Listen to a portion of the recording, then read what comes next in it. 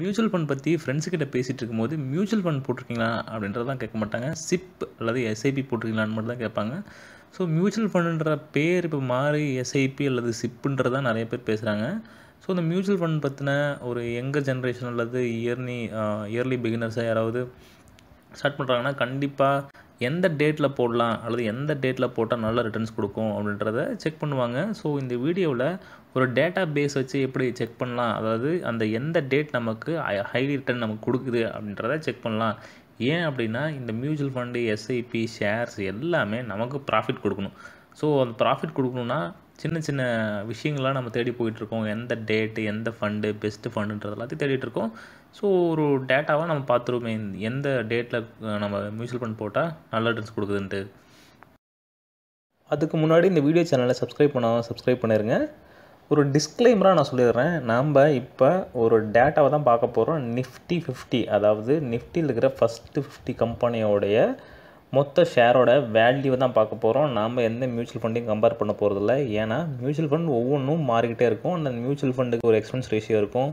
So அது எல்லாத்தையும் நம்ம வச்சு செக் பண்ண முடியாது. ஸோ ஒரு டிஸ்க்ளைமராக நிஃப்டி ஃபிஃப்டி தான் வச்சு கிளியராக செக் பண்ண போகிறோம் ஸோ கிளியராக நம்ம ஒரு பர்டிகுலர் நிஃப்டி ஃபிஃப்டி செக் பண்ணால் ஓவரால் அந்த டேட்டோட செக் பண்ணும்போது நமக்கு இல்லை இந்த ஃபண்டை நீங்கள் சூஸ் பண்ணியிருந்தீங்கன்னா இந்த டேட் செக் பண்ணும்போது இது நல்ல ஃபண்ட் கொடுத்துருக்கோம் நல்ல ரிட்டர்ன் கொடுத்துருக்கோம் சாரி நல்ல ரிட்டர்ன் கொடுத்துருக்கோம் அல்லது இந்த ஃபண்டை நீங்கள் செக் பண்ணியிருந்தீங்கன்னா நல்ல ரிட்டர்ன் கொடுத்துருந்துருக்கோன்றத நிறைய கொஷின்ஸ் வரும். ஸோ நம்ம நிஃப்டி ஃபிஃப்டியவே நம்ம செக் பண்ணுவோம்.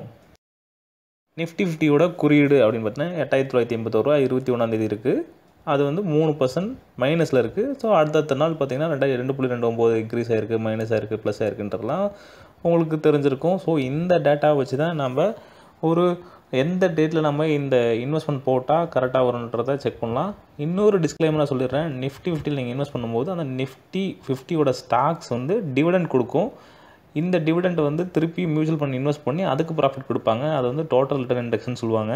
ஸோ அதெல்லாம் நம்ம இங்கே பார்க்க போகிறதுல ஒரு ரா டேட்டாவாக நமக்கு உங்களுக்கு புரிகிற மாதிரி நிஃப்டி ஃபிஃப்டியோட டேட்டாவை செக் பண்ணி டேட்ஸை மேட்ச் பண்ணி எந்த டேட்டில் நல்ல ரிட்டர்ன் கொடுத்துருக்குன்றதை பார்க்க போகிறோம் மூணு வருஷம் ஒரு எசிபி பண்ணுறீங்க அதாவது முப்பத்தாறு மாதம் நீங்கள் எசிபி பண்ணுறீங்க அப்படின்னா மாதம் மாதம் ஆயிரரூபா போடுறீங்க அப்படின்னா நிஃப்டி ஃபிஃப்டி மேலே. நிஃப்டி ஃபிஃப்டியில் நீங்கள் வாங்கும்போது இப்போ பத்தாயிரரூபா அதோட வேல்யூ இருக்குன்னா நீங்கள் ஆயிரரூபா தான் நீங்கள் போகிறீங்கன்னா அதுக்கு ஈக்குவலாக ஒரு பாயிண்ட் டூ பர்சன்ட் அப்படி தான் யூனிட்டே கிடைக்கும். ஸோ ஒரு முப்பத்தாறாயிரம் ரூபாய்க்கு நீங்கள் யூனிட்னு பார்க்குறீங்க போது நீங்கள் ஃபஸ்ட்டு தேதியில் இன்வெஸ்ட் பண்ணியிருக்கீங்க அப்படின்னா ஒரு யூனிட்டாக மூணு புள்ளி மூணு அஞ்சு யூனிட் தான் உங்களுக்கு கிடச்சிருக்கும். அதோட கரண்ட் ரேட் நான் அஞ்சு அஞ்சு ரெண்டாயிரத்தி இருபது கூட கரண்ட் ரேட் எடுத்திருக்கேன். ஒன்பதாயிரத்தி இரநூத்தி இருபத்தி ரெண்டு ரூபான்ற கரண்ட் ரேட் எடுத்திருக்கேன். அப்போ இன்னி அதாவது அஞ்சு அஞ்சு அதோட வேல்யூன்னு பார்த்தீங்கன்னா அஞ்சு அஞ்சு ரெண்டாயிரத்தி இருபதோட வேல்யூன்னு பார்த்தீங்கன்னா முப்பதாயிரத்தி தொள்ளாயிரத்தி ஐம்பத்தெட்டு ரூபா. அதே நீங்கள் அஞ்சாந்தேதியில் இன்வெஸ்ட் பண்ணியிருந்தீங்கன்னா முப்பதாயிரத்தி தொள்ளாயிரத்தி எண்பத்தி ரெண்டு ரூபா. பத்தாந்தேதியில் இன்வெஸ்ட் பண்ணிங்கன்னா முப்பதாயிரத்தி தொள்ளாயிரத்தி ஐம்பத்தாறு ரூபா. பாஞ்சாந்தேதியில் இன்வெஸ்ட் பண்ணியிருந்தீங்கன்னா முப்பதாயிரத்தி தொள்ளாயிரத்தி அறுபத்தெட்டு. இருபதாயிரத்தி இருபதாந்தேதி பண்ணியிருந்தீங்கன்னா முப்பதாயிரத்தி தொள்ளாயிரத்தி முப்பத்தி ரெண்டு. எனக்கு தெரிஞ்சு தொள்ளாயிரத்து அதாவது முப்பதாயிரத்தி தொள்ளாயிரம் சீரீஸ்லேயே தான் எல்லாமே இருக்குது மேக்ஸிமம் ஒரு ஐம்பது ரூபா கூட வித்தியாசம் இல்லாமல் நீங்கள் எந்த தேதியில் இன்வெஸ்ட் பண்ணாலுமே ஒரே வேல்யூவாக தான் இருக்குது அடுத்த அஞ்சு வருஷத்தோட எஸ்பி பார்ப்போம் ஏன்னா மூணு வருஷம் கொஞ்சம் கம்மியாக தான் இருக்குது அஞ்சு வருஷமும் கம்மி தான். நாங்கள் அதிகம்னு சொல்ல கிடையாது. ஸோ ஒரு மூணு வருஷம் அஞ்சு வருஷம் டேட்டா செக் பண்ணாவது அட்லீஸ்ட் ஏதாவது டேட்டா கிடைக்குதான்றதை பார்ப்போம். நீங்கள் அஞ்சு வருஷம் நீங்கள் எஸ்பி பண்ணுறீங்கன்னா மாதம் நீங்கள் ஆயிரரூபா போட்டிங்கன்னா அறுபது மாதம் அறுபதாயிரம் ரூபான்றது. அதே சொன்ன மாதிரி யூனிட் நீங்கள் என்ன நிஃப்டி ஃபிஃப்டியோ அதோட யூனிட் கணக்கில் நீங்கள் அறுபதாயிரம் டிவைட் பண்ணிங்கன்னா ஆறு யூனிட் நீங்கள் வாங்கியிருப்பீங்க அப்படின்னா இன்றைக்கி கரண்ட் ரேட் பார்த்தீங்கன்னா ஒம்பதாயிரத்தி இரநூத்தி இருபத்தி ரெண்டு. ஸோ வித்தியாசம்னு பார்த்தீங்கன்னா ஐம்பத்தி ஆறாயிரத்தி ஐநூற்றி எழுபத்தெட்டு ரூபா நீங்கள் வேல்யூ வாங்கியிருக்கீங்க. அதே மாதிரி தான் இப்பயுமே கிட்டத்தட்ட நூறுரூபாய்க்கு மேலே எந்த வேல்யூவும் மாற கிடையாது. ஸோ இந்த இடத்துல நீங்கள் தெரிஞ்சுக்க வேண்டிய விஷயம் நிஃப்டி ஃபிஃப்டியில் நீங்கள் ஆக்சுவலாக இன்வெஸ்ட் பண்ணால் இதோட ஜாஸ்தியாக ஓரளவுக்கு ஒரு டிவிடெண்ட் கிடச்சிருந்துச்சுன்னா இன்னொரு கொஞ்சம் ஜாஸ்தியாக கிடச்சிருக்கும். அதே மாதிரி ரீசெண்டாக இப்போ லாஸ்ட்டு ஒரு டூ த்ரீ மந்த்ஸாக ஒரு கிராஷில் நடந்தனால தான் இவ்வளோ வித்தியாசம் அதாவது மைனஸில் இருக்குது ஸோ நீங்கள் ஒரு டென் இயர்ஸ் ஃபிஃப்டீன் இயர்ஸ் நீங்கள் எஸ்ஐபி போட்டிங்கனாவே ஆட்டோமேட்டிக்காக ஒரு நல்ல ரிட்டர்ன்ஸ் எதிர்பார்க்கலாம். ஆனால் இந்த இடத்துல நீங்கள் ஒரு நல்ல எக்ஸாம்பிள் எடுத்துக்க வேண்டிய விஷயம் என்னென்னா நீங்கள் மியூச்சுவல் ஃபண்டில் மூணு வருஷத்துல அஞ்சு வருஷம் நீங்கள் இன்வெஸ்ட் பண்ணிங்கன்னா மைனஸில் கூட நீங்கள் எதிர்பார்க்கலாம் அப்படின்றது தான் உண்மை. நான் சொல்ல வேண்டியதில்லை நீங்களே டேட்டாவை பார்த்துட்டீங்க. எந்த டேட்டில் போட்டால் நல்ல ரிட்டர்ன் கிடைக்குன்றது நம்ம கிளியராக எதுவுமே கிடையாது. நீங்கள் எல்லா டேட்ஸ்லையுமே பார்த்தீங்கன்னா த்ரீ இயர்ஸில் ஃபிஃப்டி ருபீஸ் மட்டும் மேலே பெரிய வித்தியாசம் இல்லை. அதே மாதிரி ஃபைவ் இயர்ஸில் ஹண்ட்ரட் ருபீஸ்க்கு மேலே பெருசாக வித்தியாசம் கிடையாது. நீங்களே தெரிஞ்சிருந்துருக்கலாம். எதுவுமே பெஸ்ட்டுன்னு எதுவுமே கிடையாது. நீங்கள் தெரிஞ்சுக்க வேண்டிய ஒரே விஷயம் என்னென்னா நாம் எவ்வளோ நாள் இன்வெஸ்ட்மெண்ட் பண்ண போகிறோம் எவ்வளோ இன்வெஸ்ட்மெண்ட் பண்ண போகிறோம் அப்படின்றது தான் நீங்கள் ஃபைவ் இயர்ஸுக்கு கீழே நீங்கள் இருக்கிற கோலுக்கு இன்வெஸ்ட் பண்ணிங்கன்னா நீங்கள் மைனஸ் ரிட்டர்னில் எதிர்பார்க்கலான்றதும் நீங்கள் ஒரு அவுட்புட்டாக நம்ம எடுத்துக்கலாம். அஞ்சு வருஷம் டேட்டா அல்லது மூணு வருஷம் டேட்டான்றது மியூச்சுவல் ஃபண்ட்லேயோ இல்லை ஷேர்லேயோன்றது ஒரு லாங் டேட்டாவான்னு பார்த்தீங்கன்னா ரொம்ப கம்மி டேட்டா தான். ஸோ என்னால் முடிஞ்ச அளவுக்கு நான் ஒர்க் பண்ணி காமிச்சிருக்கேன். ஸோ இன்னும் நீங்கள் டென் இயர்ஸ் ஃபிஃப்டீன்ஸ்னு பார்த்தீங்கன்னா அதோட அமௌண்ட் வந்து கொஞ்சம் பெருசாக வித்தியாசமாகும் தவிர அந்தளவுக்கு பெருசாக வித்தியாசமாகுமா? அதாவது இந்த டேட்டு தான் வந்து நல்ல டேட்டுன்னு சொல்லி ஃபிக்ஸ் ஆகுமா? அல்லது தெரிஞ்சுக்கலாமான்னு பார்த்தா கண்டிப்பாக தெரிஞ்சுக்க முடியாது. ஏன்னா எல்லா டேட்டுமே அதாவது நீங்கள் மாதம் மாதம் எஸ்ஐபி பண்ணுறீங்க அதாவது மாதம் மாதம் ஒரு டேட்டில் இன்வெஸ்ட் பண்ணுறீங்களா ஒழிய அது பெஸ்ட்டாக அப்படின்றத யாராலையும் கணிக்க முடியாது. ஏன்னா இந்த share market and mutual fund எல்லாமே ஒரு தேர்ட்டி பர்சன்ட் வந்து டெக்னிக்கல் நாலேஜ் இருந்தாலும் ஒரு மிச்சக்கிற சிக்ஸ்டி பர்சன்ட் வந்து அந்த லக்கை பேஸ் பண்ணி தான் இருக்குது ஏன்னா ஒரு மியூச்சுவல் ஃபண்ட் நீங்கள் இன்வெஸ்ட் பண்ணுறீங்க அப்படின்னா அடுத்த நாள் வந்து என்ன வேணால் நடக்கலாம். ஷேர் மார்க்கெட் வந்து கொலாப்ஸ் ஆகலாம். ஏன்னா ஒரு ஃபோர் ஆர் ஃபைவ் மந்த்ஸ்க்கு முன்னாடி இந்த கரோனா வைரஸ் வந்து இந்த ஷேர் மார்க்கெட்டை மொத்தையும் மாற்றி அமைச்சிரும் அப்படின்னா யாருமே அதை நினச்சிருக்க மாட்டாங்க. அப்படி கணிச்சிருந்தாங்கன்னா எல்லாத்தையும் ஷேர் மார்க்கெட்டில் இருக்கிற அமௌண்ட் எல்லாத்தையும் விட்ரா பண்ணிட்டு போயிருப்பாங்க.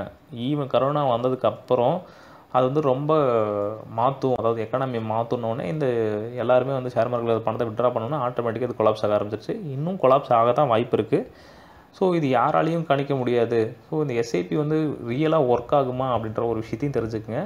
இந்த மியூச்சுவல் ஃபண்ட் கம்பெனிஸ்காரங்க மாதம் மாதம் அவங்களுக்கு பணம் நார்மலாக கிடச்சிட்டே இருக்கணும். நார்மல் மீன்ஸ் நீங்கள் மாதம் மாதம் ஒரு ஆயிரம் போட்டிருக்கீங்கன்னா அடுத்த மாதம் ஆயிரம் போடுங்க அடுத்த மாதம் ஆயிரம் போடுங்க. உங்களை மாதிரி நிறைய பேர் நார்மலாக ஒரு தொடர்ச்சியாக ஒரு அமௌண்ட்டை போட்டுகிட்டே இருப்பாங்க. அவங்க ஈஸியாக மேனேஜ் பண்ண முடியும்.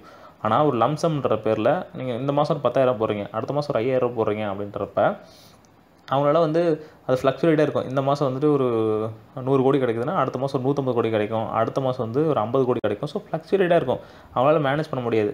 ஆனால் எஸ்சிபி போடும்போது நார்மலாக ஃப்ளக் ஒரே அமௌண்ட் வந்துட்டு இருக்கும். கொஞ்சம் ஏற்றம் இருக்க தான் இருக்கும். ஏன்னா புதுசாக ஒருத்தவங்க வருவாங்க புது ஒரு கொஞ்சம் பேர் வெளியே போவாங்க. அந்த ஏற்றம் இருக்காமே தவிர பெருசாக ஏற்றம் இருக்காது. அவங்க ஈஸியாக மேனேஜ் பண்ணிட்டு போகலாம். அடுத்தடுத்த மாதத்துக்கு அவங்க பிளானும் பண்ண முடியும். இதனால தான் அவங்க மார்க்கெட்டிங் எஸ்ஐபி பண்ணுங்கள் எஸ்ஐபி பண்ணுன்னு சொல்கிறாங்களே தவிர நிறைய பேர் இந்த மியூச்சுவல் ஃபண்டை பேரை விட்டுட்டு எஸ்ஐபின்னு சொல்கிறதுக்கு காரணமே இந்த மியூச்சுவல் ஃபண்ட் கம்ப கம்பெனிக்காரங்க பண்ண இந்த மார்க்கெட்டிங் தான். ஸோ எஸ்ஐபி ஒர்க் ஆகுமா அப்படிலாம் கிடையாது. நீங்கள் லம்சம்மில் கூட நீங்கள் அதாவது மாதம் மாதம் நான் நீங்கள் எந்த டேட் வேணால் ஃபிக்ஸ் பண்ணி கூட நீங்கள் வந்து மியூச்சுவல் ஃபண்ட் போடலாம்.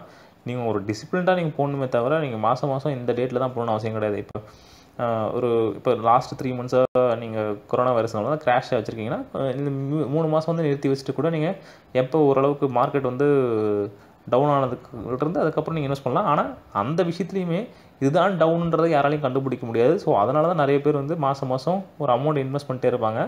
ஸோ மூணு மாதம் கழிச்சும் நீங்கள் நார்மலாக வந்து ஒரு லம்சம் இன்வெஸ்ட் பண்ணுறீங்கனாலும் இது ஓகே தான். ஸோ எஸ்ஐபின்றது இந்த பியூர்லி இந்த மார்க்கெட்டிங் டேர்ம் தான் தவிர இந்த எஸ்ஐபின்றது ஃபுல்லாக வந்து லாங் டேர்முக்கு எஸ்ஐபி ஒர்க் ஆகும் அப்படின்றதுலாம் ஒரு சுத்த போய்.